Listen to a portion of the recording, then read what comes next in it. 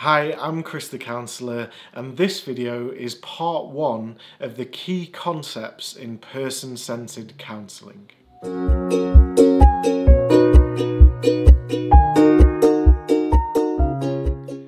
So this video is part one in a series of four, which is going to outline the main concepts in person-centred counselling. If you're looking for an introduction to the person-centred approach to counselling, then I would recommend checking out my other video, which gives a brief overview of the theory and also explains how it works in practice in a therapeutic relationship. However, in this series of videos, I'm going to outline about 15 different concepts and terms, give a brief introduction and overview of each of them, and also explain how it fits into the wider concept of the person-centred approach to counselling. So the first concept I'm going to look at is the actualising tendency. Now, the actualizing tendency is a tendency that Rogers believed was in all living things. It was a motivational force which moved us towards growth and enhancing our experience. It is also the reason that the person centered approach is a non directive approach to counselling. If we believe in the actualizing tendency, then there is no need to guide or direct our clients, but instead we can put our trust in the clients and their actualizing tendency, and most importantly, the direction that our clients choose to move in. As you can see, this is central to the person-centered approach and our beliefs as therapists. The theory is quite complex and I've made another video which goes into a lot more depth and detail about the actualizing tendency. But for the purposes of this video, this is just a brief introduction to what the actualizing tendency is and why it's so important in the person-centered approach. The next concept that I want to look at are the six necessary and sufficient conditions. These were six conditions which Rogers outlined and said that they were both necessary, meaning that they were needed in the therapeutic relationship, and also sufficient, meaning that nothing else was needed to make the therapy effective.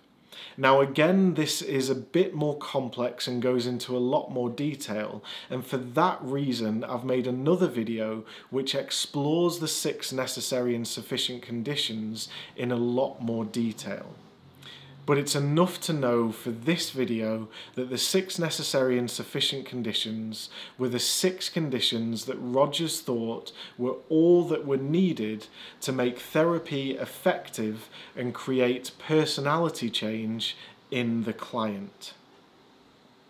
Now, something that came out of the necessary and sufficient conditions are the three core conditions. Now, Rogers didn't use this term himself, but actually came from writers later on. However, the core conditions were embedded in the six necessary and sufficient conditions. These three core conditions were the only conditions that the therapist needed to offer their client to make therapy effective.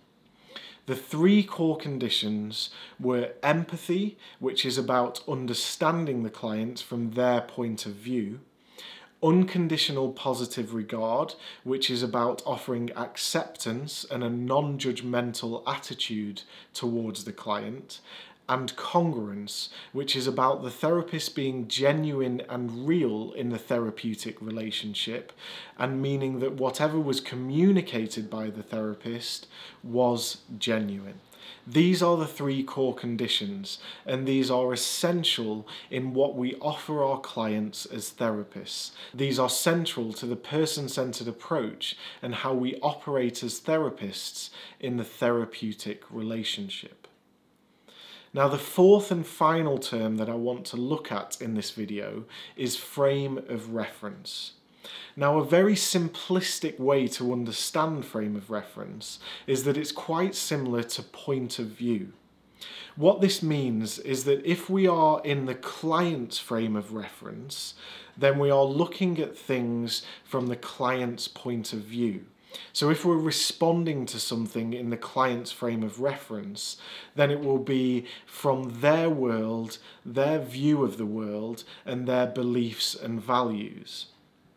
However, if we're responding from something in our frame of reference, then this might not necessarily be in the client's point of view.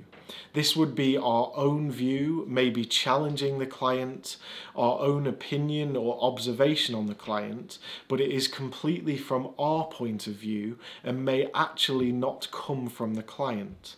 So, frame of reference refers to the place that we are responding from. Are we responding from the client's frame of reference or from our own frame of reference? This is the best way to understand it. So this has outlined four main concepts in the person-centered approach. As I say, I'm going to be looking at many more in the other videos in this series, but for the time being, this is the end of part one of the key concepts of person-centered counselling.